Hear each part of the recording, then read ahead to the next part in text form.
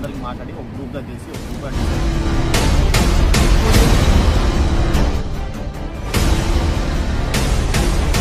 మన ఊరిలో ఉన్న కష్టాన్ని మన కష్టాలుగా భావించాలని ఆ ఊరి యువత గట్టిగా అనుకుంది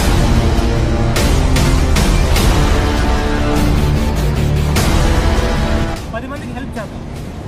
ఫస్ట్ మన ఊరికి హెల్ప్ చేసుకుందాం మన ఊరి కష్టాన్ని తీసుకుందాం